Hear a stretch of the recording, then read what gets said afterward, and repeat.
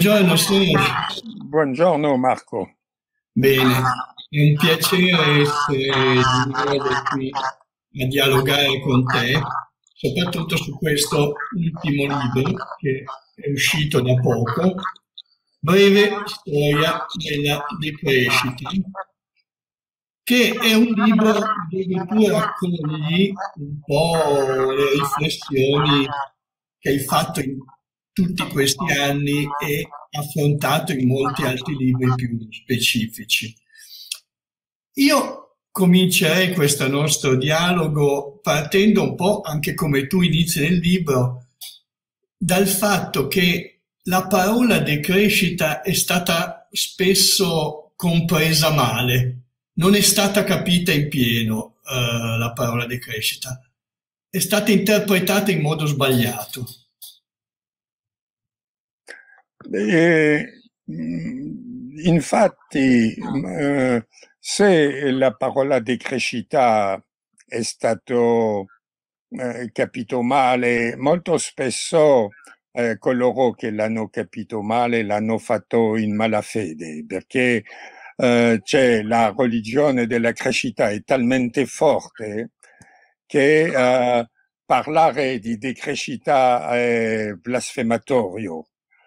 Allora, bon, l'abbiamo sempre detto che si tratta di una, uno slogan per significare la necessità di uscire dalla società della crescita, va detto di una società fagocitata da un'economia di, di crescita, un'economia che ha per fine solo la crescita per la crescita, non la crescita per soddisfare i bisogni, che sarebbe una cosa giusta, ma la crescita per la crescita illimitata.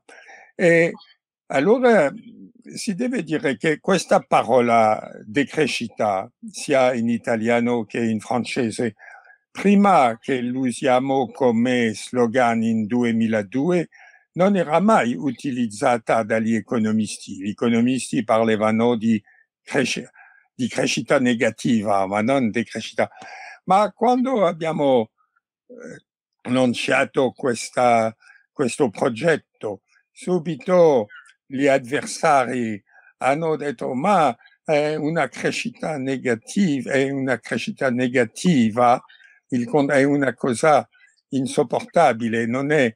Uh, e anche ora in Francia, almeno dopo questa crisi della pandemia, eh, di nuovo eh, si è detto che abbiamo con la pandemia conosciuto una decrescita e questo non è vero, era una recessione, una crescita negativa, ma non ha niente a che vedere con il progetto della decrescita. Eh, ma poco a poco eh, la gente capisce che si tratta di un progetto di eh, creare non solo un'economia, ma una civiltà alternativa a, alla modernità. Ecco, e infatti la eh, modernità è eh, segnata in modo direi profondo da questo mito dello sviluppo come crescita infinita in un mondo che però è finito. No? Eh, tu parli con un bellissimo neologismo di assurdistan, eh, cioè del pensare alla illimitatezza in un mondo che i limiti invece li ha e che questo è il cuore della modernità. Bon, la modernità eh, voleva giustamente uscire da, eh, eh, dal, dal, vecchio regime che era molto pesante e eh, del fatto che eh, era dominato da eh, una al medesimo tempo de, voleva rendere l'uomo emancipare l'uomo emancipare l'uomo da tre cose, dalla trascendenza, dalla tradizione eh, e eh, della,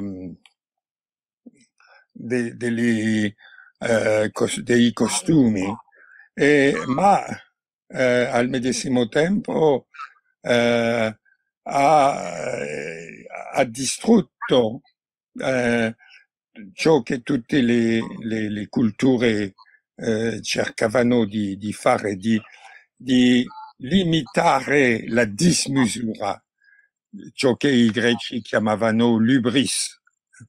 E uh, uh, la dismisura, da un certo punto, c'è nell'uomo un'aspirazione, un'aspirazione bella a, alla trascendenza, ma questa aspirazione può diventare distruttiva quando eh, diventa una sete di potere illimitato, una sete di ricchezza illimitata. E tutte le culture hanno cercato di, di far lavorare questa aspirazione eh, alla trascendenza in modo che non distrugge eh, la società.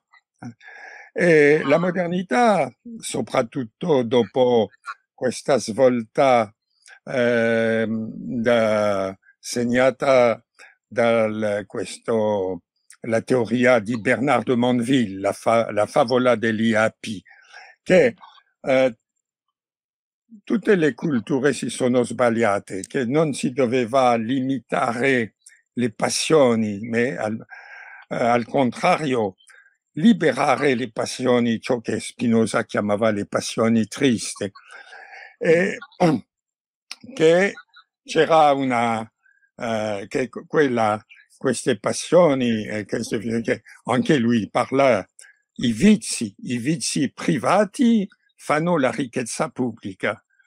Eh, e eh, questo si è trasformato, è la base dell'economia, eh, della teoria economia con la mano invisibile di Adam Smith, che ciascuno cercando di massimizzare il suo interesse contribuisce al bene pubblico.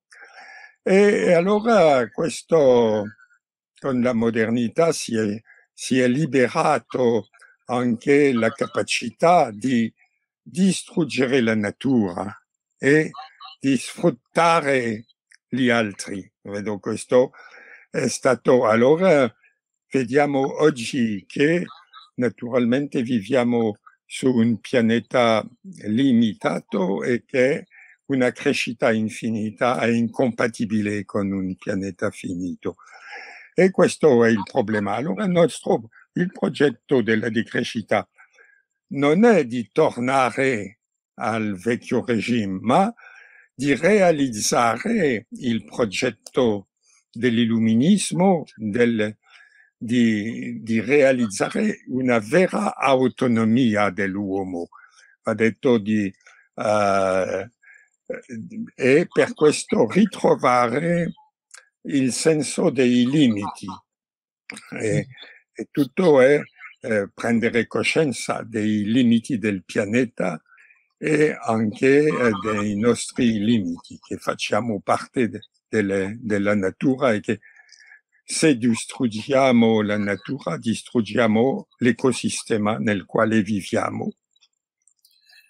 Esatto, infatti eh, adesso si parla sempre più spesso di antropocene, cominciamo a renderci conto che forse abbiamo sempre trattato la natura come qualcosa di fuori da noi e invece, come dicevi tu, noi siamo una delle parti eh, della natura. Ecco, quello che forse è accaduto eh, nella nostra società, soprattutto quella industriale, post-industriale, è appunto, come già un po' hai accennato, la perdita del senso del limite. Alcuni anni fa tu avevi fatto un bellissimo libretto proprio dal titolo Limite, dove spiegavi che eh, appunto esistono per forza dei limiti oggettivi. Altre società, altre culture non europee, tu hai fatto anche un'esperienza lunga in Africa, in qualche modo si sono sempre dati un po' un senso del limite.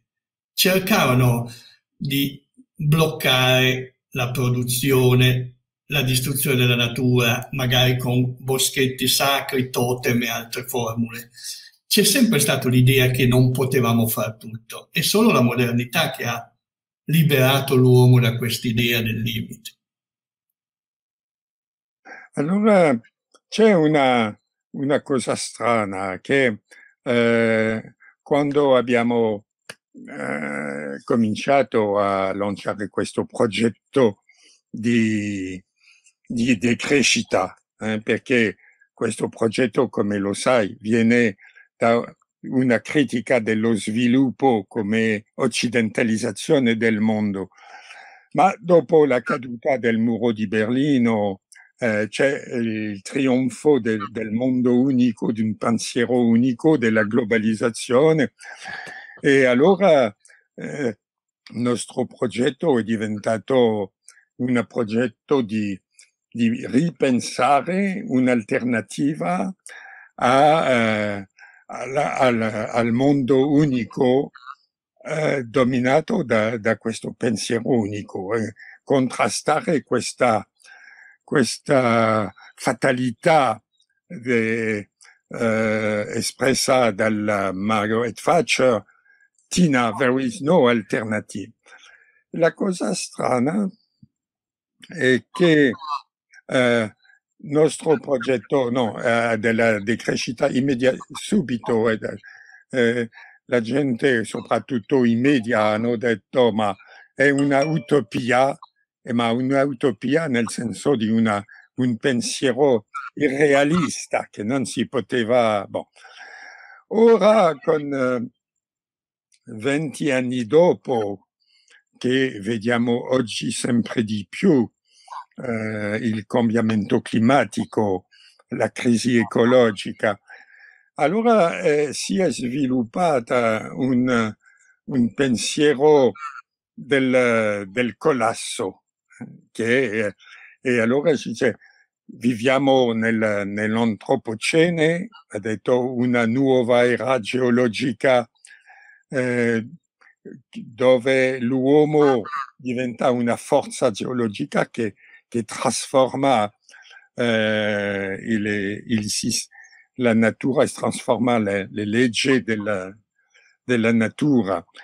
E, e allora questa idea che eh, subito è diventato di moda eh, il collasso dopo il famoso eh, libro di... Ah, non mi ricordo più. Jared Diamond. Gia, Diamond, sì, Diamond, bon. e, e, non a caso questo pensiero è nato nei paesi anglosassoni dove, dove uh, pensare nel, nel, campo economico uh, una decrescita era impossibile. Allora è più facile, come uh, si dice, è più facile pensare il collasso che l'uscita dal capitalismo. E allora la cosa strana è che uh, le, medesime, la, le, le, medesime, persone che uh, rifiutavano la decrescita sono oggi uh, convinte del, del, collasso. Va detto, che, eh, va detto che prima non si poteva cambiare il sistema, oggi è troppo tardi, non si può cambiare niente. Il progetto della decrescita Invece è l'idea che eh, un altro, um, ancora meglio, altri mondi sono possibili se lo vogliamo. Il problema è di, di, di uh, avere questa volontà di uscire dall'incubo del sistema economico capitalista e, uh, e della società della crescita. E ora ci vede che uh, c'è una, una, grande battaglia uh, che tra uh, la, la, forza del sistema e la necessità di, di cambiare di sistema. E nella, soprattutto nella seconda parte del libro, ovviamente, mentre nella prima fai un po' anche un'analisi storica di come si è arrivati, chi sono stati anche i padri della decrescita, poi invece appunto il progetto della decrescita prende forma e per esempio è interessante la proposta che fai di invece di parlare di globalizzazione, parlare di relocalizzazione. Ecco, cosa si intende con questo passaggio da globalizzazione a relocalizzazione? Eh, allora, questa rilocalizzazione è una, una parte essenziale del nostro progetto perché che, che cos'è stato la globalizzazione o la eh, mondializzazione, come diciamo più, più volentieri in francese? È, è stato l'onimercificazione del mondo. Naturalmente si dice ma è una bella cosa la mondializzazione perché c'è tutte possono eh, cambiare, parlare a tutti, soprattutto con il numerico, con tutto questo. Ma invece eh, questo, la, la mondializzazione la, eh, è, esiste già almeno da 1492 quando gli amerindiani hanno scoperto un certo Cristoforo Colombo. La cosa nuova che è successo dopo la caduta di, di, del muro di Berlino è invece la mercificazione del mondo, che tutto può essere trasformato in merce. Il problema è uh, che questa mercificazione è un gioco di massacro su scala globale perché c'è la concorrenza che un altro nome della guerra economica, la guerra di tutti contro tutti e eh, solo, solo vincenti sono le imprese transnazionali, ma eh, invece i popoli e la natura sono eh, i, i, perdenti di questo, di questo sistema. Allora è, è interessante che le vicende eh, dell'inizio della pandemia eh, sia in, in, Italia che in Francia ci hanno fatto sentire la necessità di avere un'economia locale, un'economia per la sopravvivenza, ma non solo quando si è scoperto che non, siamo, che non eravamo più capaci di fabbricare le maschere necessarie per proteggersi. Allora si è capito la necessità che conosceva che bene i vecchi economisti come Keynes. Keynes diceva le idee devono circolare, eh, ma eh, le merci non troppo e i capitali per niente. Invece abbiamo fatto tutto, tutto il contrario. E, e allora lo sapevano già i, i vecchi socialisti, i vecchi uh, marxisti, uh, che come uh, non mi ricordo più l'amico di Marx che diceva a proposito del libero mercato che si tratta del, della libera volpe nel libero polaio. E, e allora abbiamo abbiamo visto questo che la necessità, la necessità di rilocalizzare le eh, attività eh, necessarie alla sopravvivenza della gente, alla, alla, vita, naturalmente il cibo, ma anche tutte le, le cose eh, e, e, e, che non si deve eh, lasciare eh, tutta la produzione necessaria alla Cina, soprattutto perché ora tutto viene dalla, dalla Cina, anche se abbiamo anche distrutto eh, l'agricoltura la, cinese che, che creando dei problemi giganteschi per i cinesi e questo è il gioco di massacro.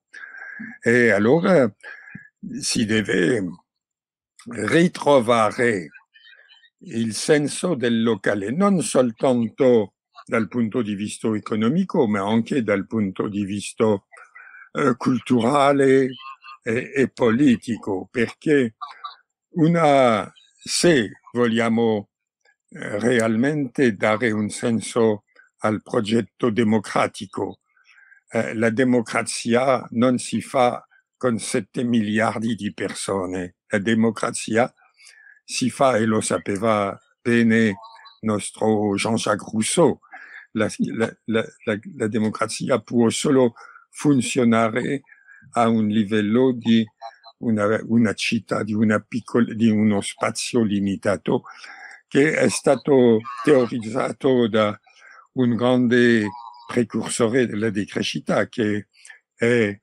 eh, l'anarco-ecologista americano Murray Bookchin, che lui difende un progetto di municipalismo, di municipalismo, e si è detto che è stato provato di essere realizzato nel Roraia, nella zona del, del Kurdistan liberato. Sì. E in effetti, ecco, era proprio, sei arrivato da solo alla domanda che volevo fare dopo, quello della decrescita, il vostro progetto, non è solo un progetto di tipo economico, ma è un progetto che prevede anche proprio un cambio politico e culturale, eh, quindi, no? Tant'è vero che nel libro tu contrapponi la, eh, cioè la, l'universalismo che finisce per essere un po' la maschera per esportare i valori occidentali ovunque, e l'abbiamo visto anche recentemente in Afghanistan, con invece il pluriversalismo e delle culture e della democrazia. E questa è un po' la chiave. Ho capito bene la, l'ultima domanda. Al, tu proponi di sostituire l'universalismo che sa molto di, esporta, di occidentalizzazione, infatti, invece parli di pluriversalismo e democrazia.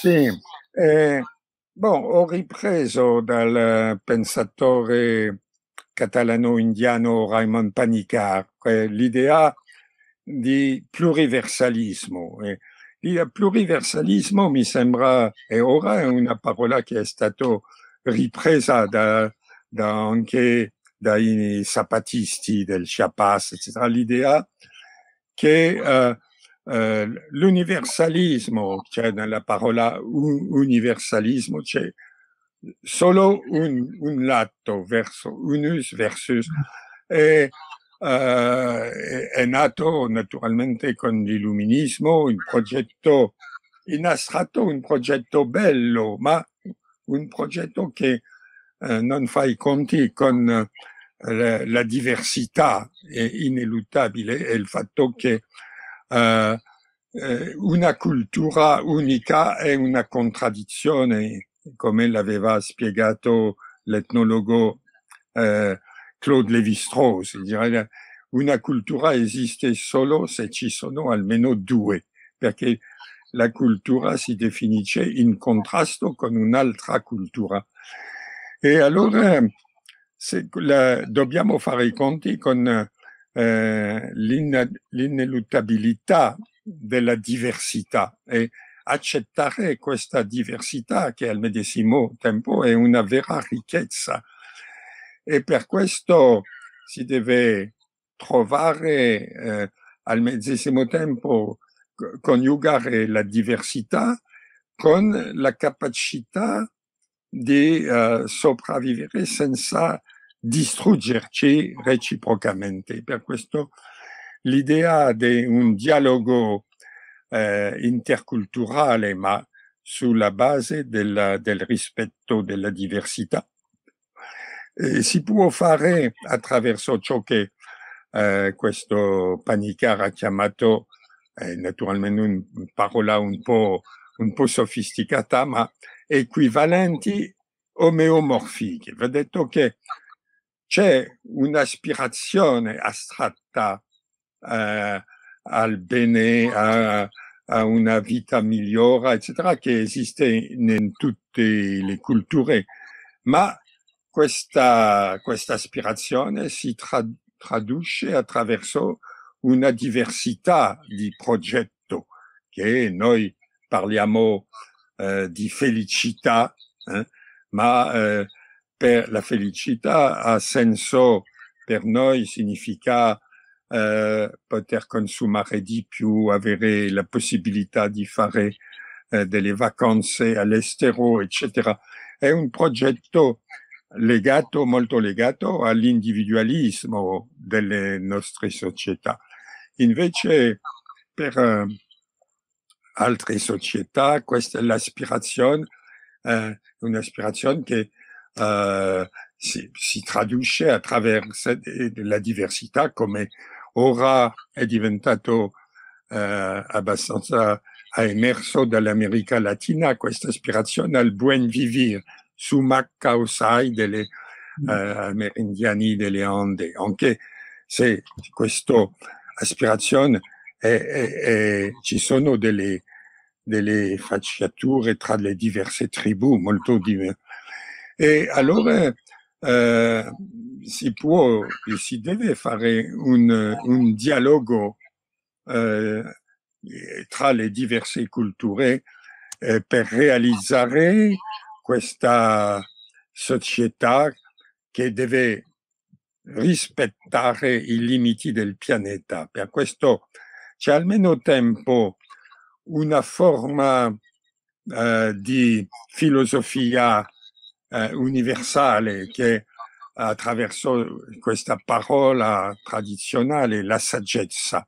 Ci sono tutte le culture hanno una saggezza ma eh, eh, e se, attraverso questa saggezza si deve realizzare una eh, forma di società che noi chiamiamo di benessere, che ho chiamato società di abbondanza frugale. Va detto che eh, si può dire, ma l'abbondanza frugale non è un ossimoro No, non è un ossimoro perché l'abbondanza esiste solo se sappiamo limitare i nostri bisogni. Se i bisogni sono illimitati, come lo dicono la, la, la pubblicità, lo dice, i bisogni sono illimitati, allora non siamo mai soddisfatti e non, non siamo mai felici. E allora la felicità o almeno un po' la, la soddisfazione può solo esistere se i bisogni sono limiti. E questa limitazione dei bisogni è la frugalità.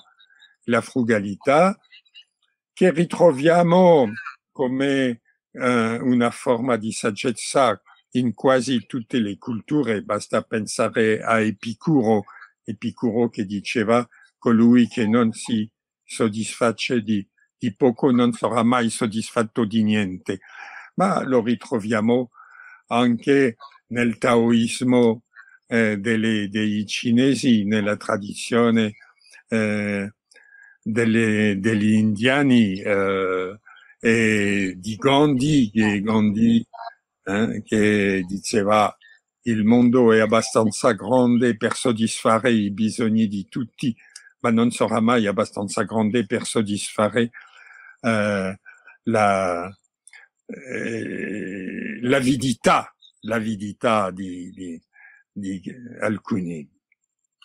Infatti eh, mi è piaciuto molto, tu citi a un certo punto Pierre Rabhi eh, che dice meno beni, più legami. Cioè, ecco, quindi una società che sia fatta più di relazioni e che forse dovremmo imparare a capire che la relazione è un bene importante. Ecco, non, il bene non è solo l'oggetto, qualcosa che usiamo, ma forse Ecco, forse la pandemia, il cosiddetto lockdown, ci ha fatto capire l'importanza delle relazioni. Ecco, quando sono venute a mancare, ci siamo accorti di quanto è importante avere dei legami, avere delle relazioni. Eh, il problema eh, dell'Occidente, della nostra società, della crescita, è che, è che l'aveva anche capito eh, eh, Robert Kennedy, eh, colui che è stato assassinato eh, nel suo bel discorso tre mesi prima che sia assassinato, lui diceva, bon, eh, fa, facciamo entrare nel prodotto interno lordo, ne pas tutte le merci, salvo ciò che crea la, la, la, che le, le, cose veramente importanti, eh, come eh, l'amore, l'amicizia, eccetera. E effettivamente si vediamo che uh, il, il, benessere non è il benavere, avere molti non crea se non abbiamo eh, dei legami sociali forti.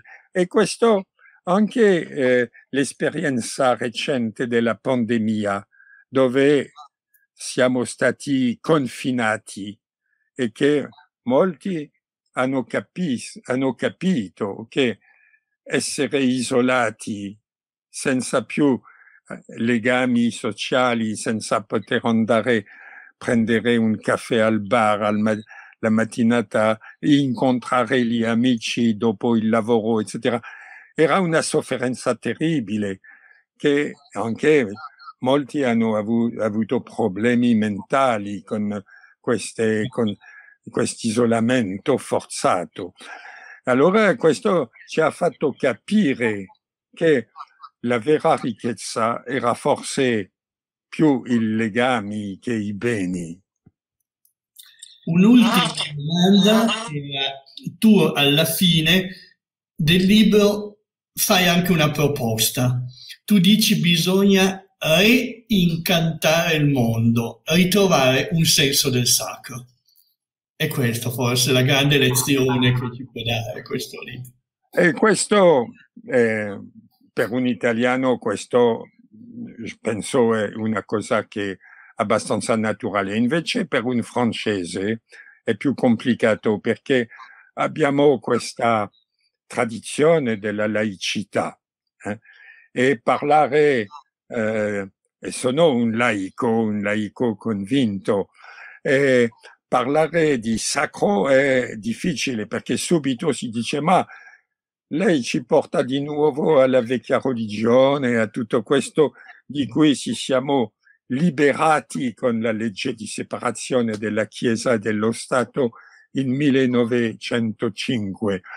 E allora si, si deve pensare a una uh, spiritualità laica. Eh?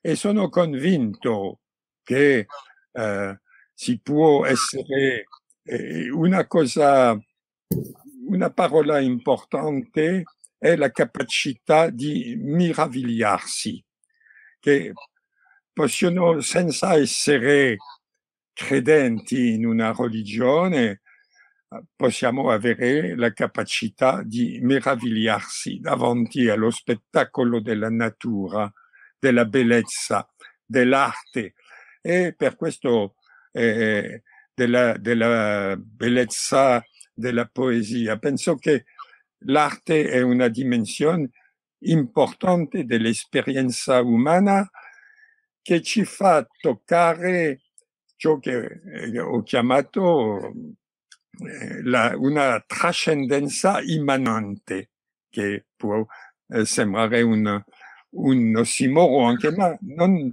credo che una cosa importante, quest'idea di, di dimensione della trascendenza immanente e che si può sentire attraverso questo, la bellezza, la poesia, l'arte. E, e, e una cosa che mi ha molto colpito è il fatto che eh, quando si va nei paesi come te, dei paesi del sud, eh, eh, mi ricordo bene delle, delle, chiacchiere con gli amici della Tunisia, eh, in la Tunisia che sembra un paese tra i paesi del sud, un paese molto moderno, ma al medesimo gli amici tunisiani, i colleghi tunisiani, parlavano sempre di poesia.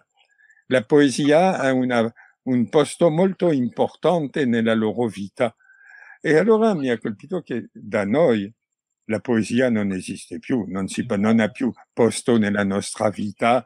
Tra, cerchiamo il job, il business, eh, il divertimento, ma non questa dimensione poetica della vita. L'abbiamo cancellato. E, e questo, eh, prendo la poesia come simbolo, ma vale per tutte le, tutte le arti, eh? anche la danza, la musica, anche mi, anche mi colpisce molto il fatto che i giovani di oggi non cantano più. Quando ero giovane c'era questa cultura popolare, anche lavorando la gente cantava, c'era la, molte tradizioni anche di, di, di musica popolare, eccetera.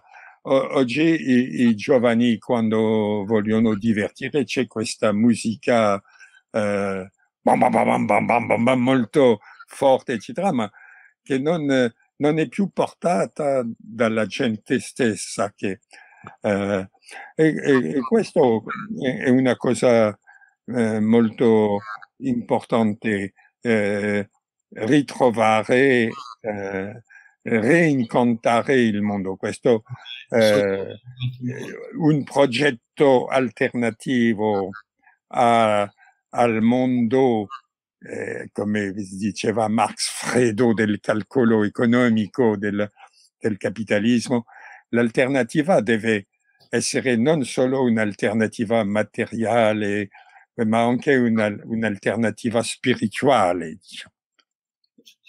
Grazie mille per queste belle parole. Eh, ricordo ancora a tutti il libro di Serge Latouche, Breve storia della decrescita. Grazie Sergio, è stato un piacere. Arrivederti, ah, risentirti. Ciao, grazie.